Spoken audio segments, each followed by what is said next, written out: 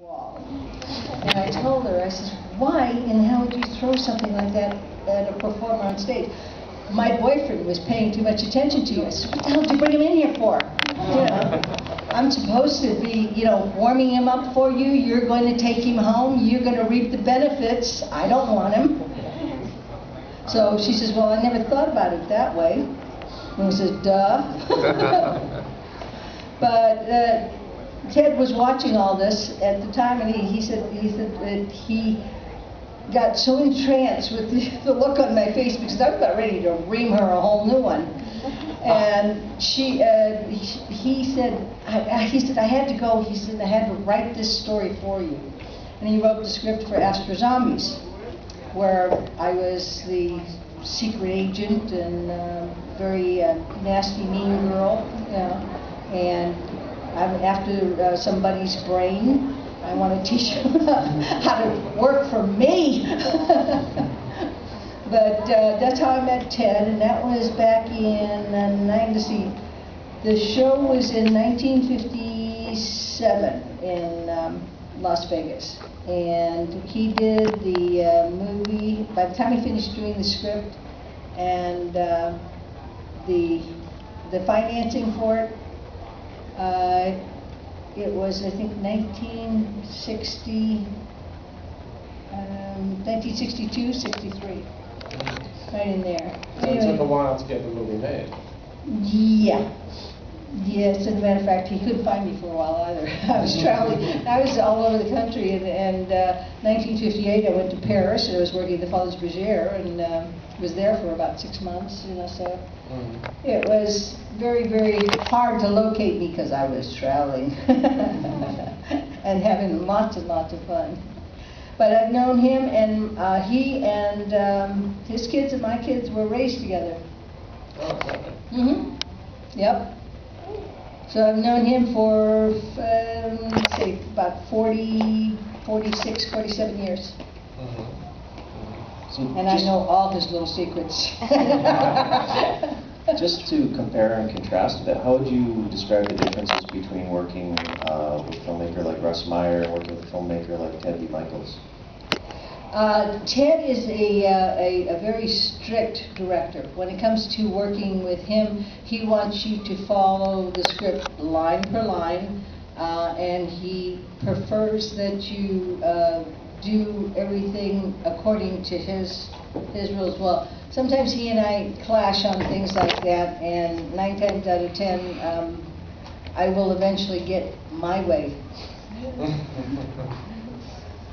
I don't want to ask what happens if you don't. Uh, he usually has sports a black eye for about a day or so. now you were telling me a very funny story about uh, customs, uh, going through Canadian customs. oh yes, that's a joy. Yeah. They still have one of my suitcases with all my pictures in it, my comic books, my DVDs, my T-shirts, uh, my little mini Astro Zombie statues, and all that's still in customs. They're going to deliver it Monday. I wanted to ask you um, something I came across, um, I think it was on Wikipedia or the IMDb. Uh, It said that you at one point had aspirations to become a blues singer.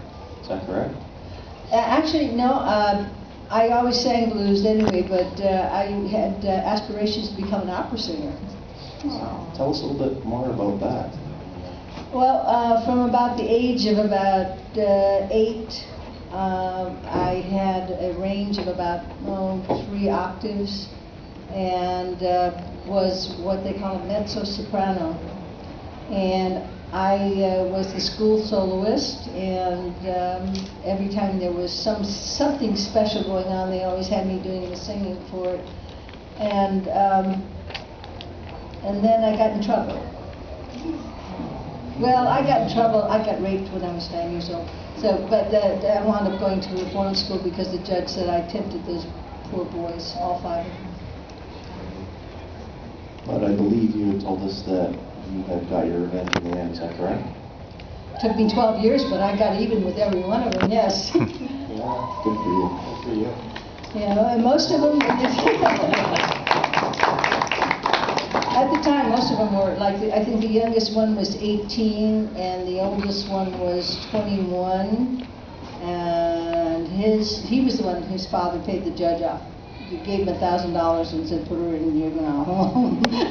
So that's where I went, because uh, we were the only Oriental Japanese family in that area for like a 20-mile radius. And it was, uh, it was very interesting uh, growing up in Chicago in an Italian, Jewish, black neighborhood. Being the only Oriental family, uh, I got to experience a lot of prejudice firsthand. But I learned. I mean, it got to the point where, um, fighting my way to and from school, I finally had to get to the point where either I kicked ass or they kicked mine. And I wasn't gonna let them do that to me anymore. Right. So I did. Right. And then I developed my own girl gang, and we had a girl gang uh, of uh, four, four of us. Uh, There was uh, Rose, Valerie, and, um, and uh, Edie, and myself. Anyway, um, she, uh, all of us, we used to roam our neighborhood to keep all the girls in the neighborhood safe, so that nobody would ever get what I got.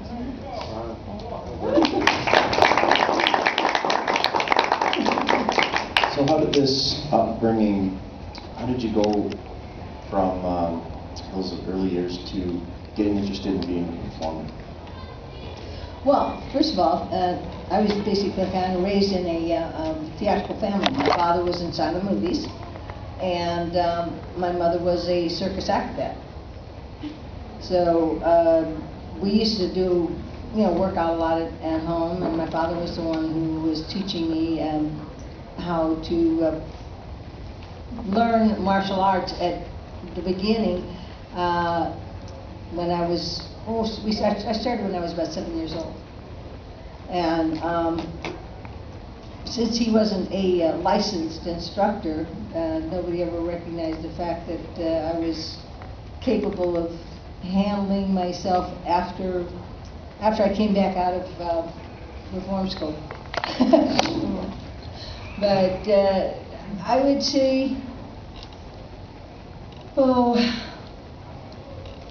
I, I'd say that, you know, learning, learning to be uh, tough and, uh, and uh, learning to uh, do the acrobats, the acrobatics that I did in my dance routine from my mother helped me a whole lot. When I uh, went to California, I went to California to get away from the reform school thing. Um, I went to California and became a, uh, a, a bathing suit model. And then I started modeling for Harold, I don't know if you know Harold Lloyd, the comedian, the old silent movie comedian. Yeah. Anyway, His 3D collections, the whole time, right? yeah, he developed the 3D camera, he helped develop it.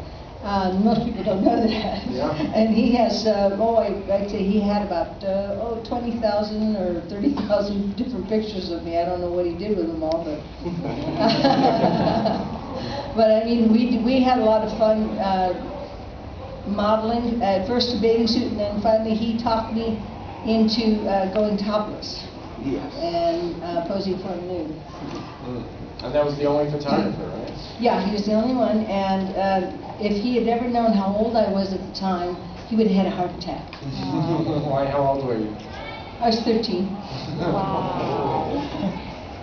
I was 13, and I started. Then I then uh, I got a makeup poisoning and went back to Chicago, and started uh, as a uh, as a legitimate dancer uh, because uh, while working in California, one of the um, acts didn't show up at the club where I was working.